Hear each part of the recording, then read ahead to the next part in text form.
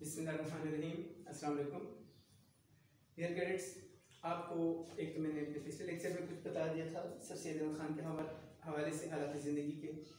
फिर इसके बाद मैंने आपको एक क्लिप भेजा यूट्यूब का, जिसमें सर सैद खान के हालात ज़िंदगी बयान किए गए थे।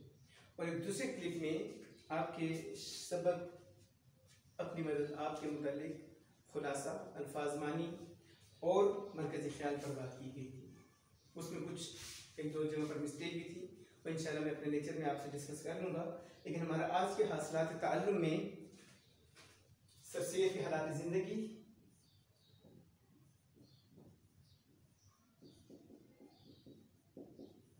और सबक पर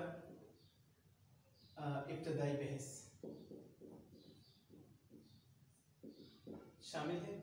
जिससे आपको मालूम हो जाएगा कि सर सैद अहमद खान अपने इस मजमून, अपनी मदद आप में कहना क्या चाहते हैं और किस अंदाज से उन्होंने बात की है। मैंने उस रोज़ जो आपके सामने की रीडिंग की थी, उसमें मैं दूसरा पैराग्राफ फिर से पढ़ता हूँ आपके लिए। अच्छा ये जहन में रहे कि जो भी मुसनफ़ या शायर आपकी किताब में शामिल है और उसके हालात ज़िंदगी बयान किए गए हैं, उसको दो पैराग्राफ में तकसीम किया जाता है। पहले पैराग्राफ उसके हालात ज़िंदगी और दूसरे में उसका अंदाज तहरीर और अदबी मकाम पर बात की जाती है।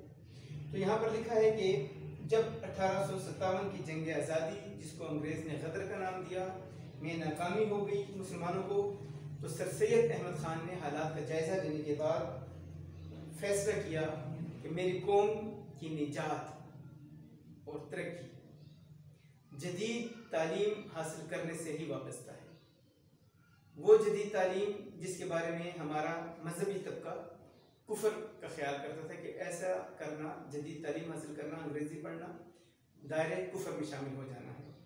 तो यहाँ पर है आपका दूसरा पैराग्राफ। उन्होंने अंदाज़ा लगाया कि किसी भी कौम की इसलाह और तरक्की तालीम के बगैर मुमकिन नहीं। ये मैं आपको बता चुका हूँ, जब अट्ठारह सौ उनहत्तर सत्तर में वो यूरोप में थे तो उन्होंने एडिसन और टेटलर की राइटिंग से मुतासर होकर ये ख्याल कायम किया। इसलिए उन्होंने अपनी सारी सलाहियतें मुसलमानों की तालीम और तरबियत पर सर्फ की। अलीगढ़ कॉलेज जो कि इस वक्त अलीगढ़ यूनिवर्सिटी बन चुका हुआ है, उसकी रोशन मिसाल है। इसके अलावा आम मुसलमानों, मुसलमान घरानों की तरबियत और इसलाह के लिए एक रिसाला तहजीबुल अखलाक भी जारी किया। तहजीबुल अखलाक एक रिसाला जिसमें कि वो हमें अपनी बुरी रसूम और रवाज से हट कर तरक्की की राह पर चलने का दर्ज देता है। सरसैद का एक और बड़ा कारनामा सादा और आसान नसर की तरवीज था। तरवीज रिवाज देना।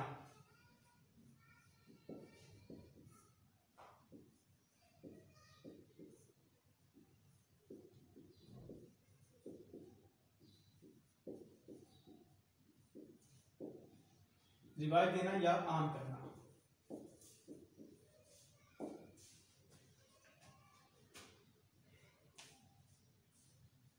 उन्होंने उस जमाने की तर्ज निगारिश, जो मुकफ़ा और मुसज्जल नसर की सूरत में थी, को तर्क किया। उस जमाने में नसर जो थी, वो भी शायरी से कम नहीं हुआ करती थी। बल्कि शायरी का तो एक मिसरा, एक मखसूस बहर में हुआ करता था। नसर में जो तहरीर हुआ करती थी वो कई सत्रों पर मुश्तमिल होती थी और काफ़ी से काफ़ी और रदीफ से रदीफ मिलाकर बात की जाती थी। जो कि इंतहाई अदब, इंतहाई मुश्किल मौजू बन जाता था, आम बंद उसको समझ भी नहीं सकता था। सर सैद ने उस तर्ज को तर्क किया, तर्ज निगारिश, अंदाज तहरीर।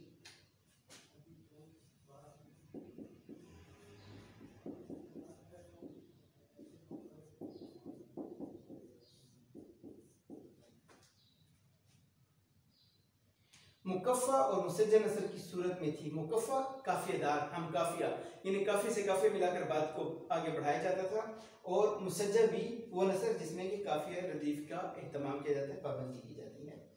और मकसदियत को रिवाज दिया। सर सैद का कहना था कि मेरी इस वक्त मिसाल उस शख्स की है जिसके घर को आग लगी हुई हो। वो लोगों को मदद के लिए बुलाने की खातिर जो अल्फाज बोलेगा, उसमें काफ़ी रदीफ का अहतमाम नहीं करेगा। काफ़ी रदीफ उसकी सोच नहीं होगी, बल्कि वो चिल्ला रहा होगा कि मेरे घर को आग लगी है, बचाओ और बचाओ और बचाओ।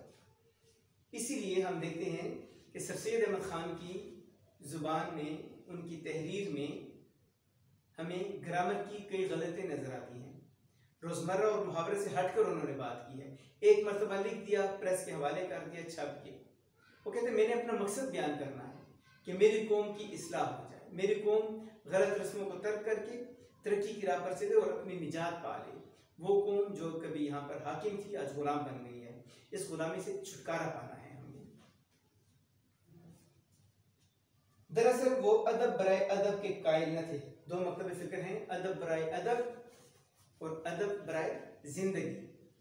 अदब बरए अदब में बैठे गज़ल की बातें की, गज़ल कही, नज़म की बात की, सेरा कह दिया, मरसिया कह दिया और ज़ुबानदानी में ज़मीन और आसमान के कलाबे मिला दी। कुछ पता नहीं कि इसका इंसानी ज़िंदगी पर क्या असर पड़ता है, इसका क्या फ़ायदा इंसान को है। सर सैद ने कहा कि मैं मकसदियत की बात करता हूँ। वो बात करूँगा जिससे मेरी कौम को फ़ायदा होगा। तो वो अदब राय अदब के नहीं, बल्कि अदब राय ज़िंदगी के कायल थे।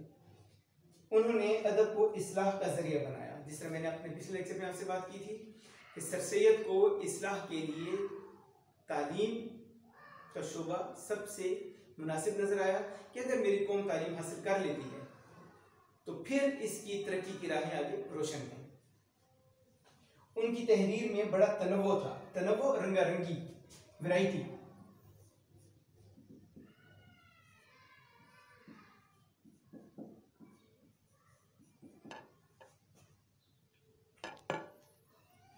उन्होंने, यानी सर सैद अहमद ख़ान ने मज़हब, सियासत, तारीख, अदब, फ़लसफ़ा और मंतिक हर मौजू पर तबाजमाई।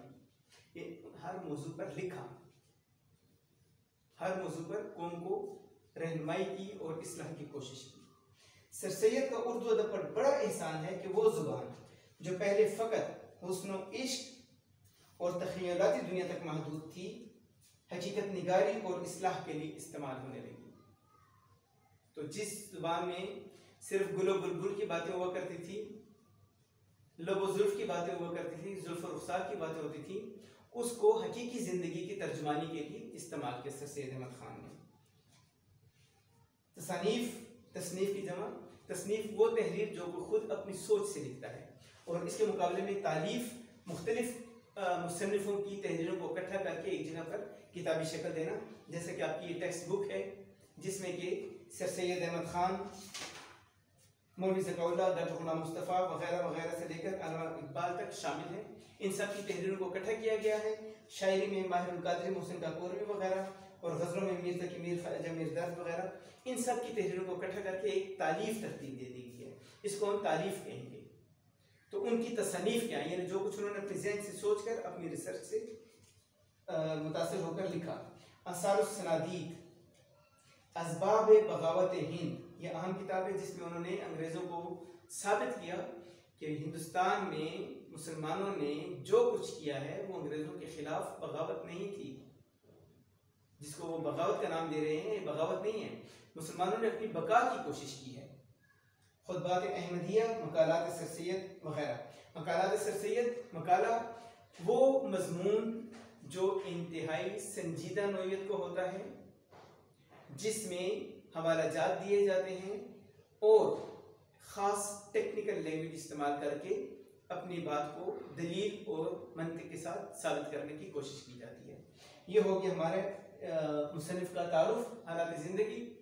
अब इसमें आपने करना ये है कि इसके हालात ज़िंदगी के 20 एम तैयार करने हैं। लेकिन एम के लिए मेरी वही शर्त कि हर क्रेडिट का एमसीक्यू दूसरे से अलग होगा। अगर दो में मुआसरत पाई गई तो दोनों मनसूख हो जाएँगे। दोनों को मैं नाकबिल कबूल करार दे दूँगा।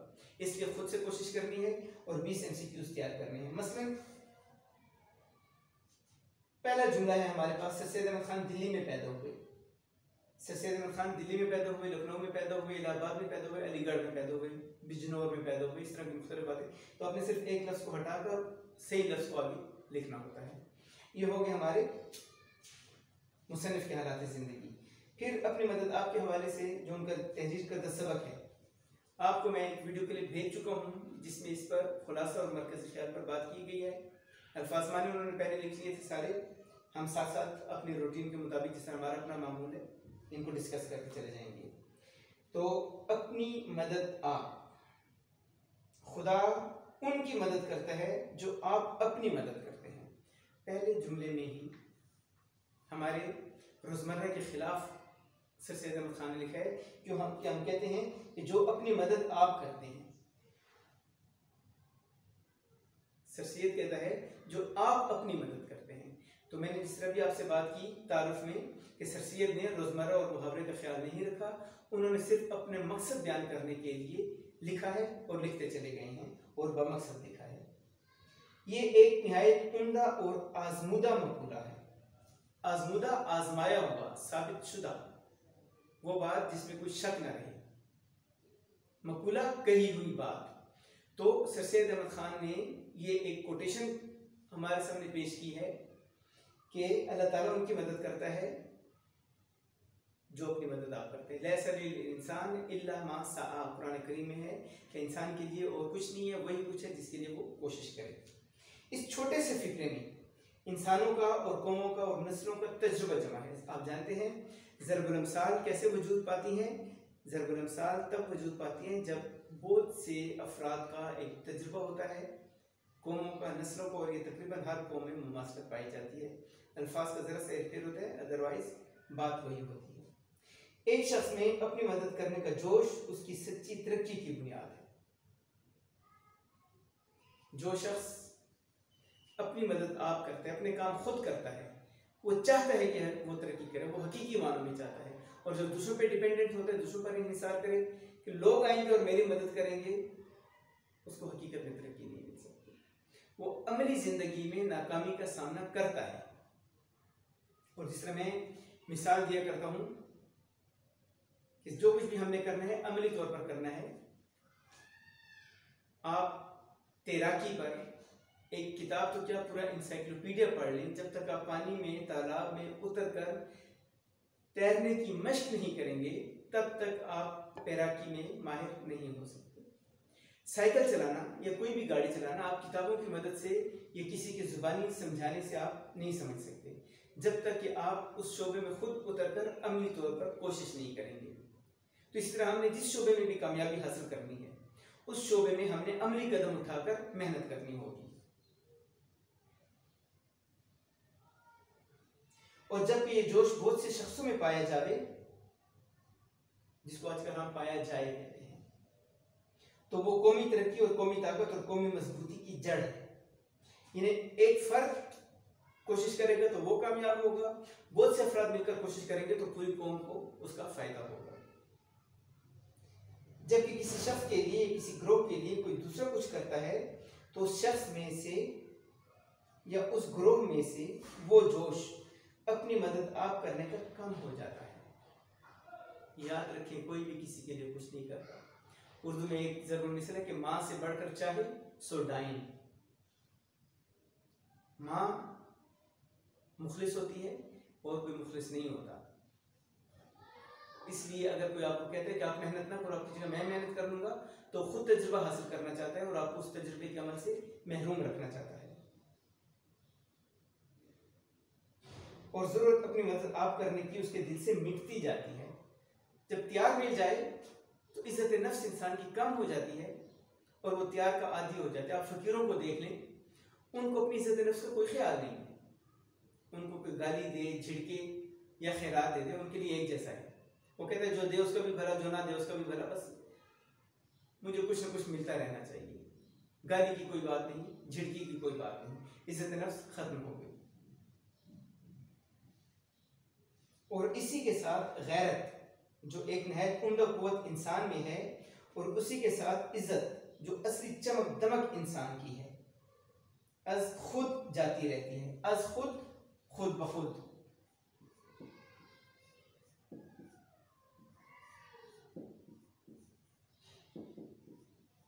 खत्म हो जाती है, जाती रहती है, खत्म हो जाती है। इज़्ज़त नफ्स से खत्म हो गई। और जबकि एक कौम की कौम का ये हाल हो तो वो सारी कौम दूसरी कौमों की आँख में जलील और बेइज्जत हो जाती है। जिसने एक फर्द अपनी इज़्ज़त नफ्स का ख्याल नहीं रखता तो मुआशरे में हकीर समझा जाता है। और जब कोई कौम अपनी इज़्ज़त नफ्स का ख्याल नहीं रखती तो वो कौम बैन अवी तौर पर हकीर समझी जाती है, उसकी इज़्ज़त नफ्स मजरू हो जाती है, उसको कोई अहमियत नहीं देता। आदमी जिस कदर के दूसरे पर भरोसा करते जाते हैं, भरोसा करना, एतबार करना, एतमाद करना। खा अपनी भलाई और तरक्की का भरोसा गवर्नमेंट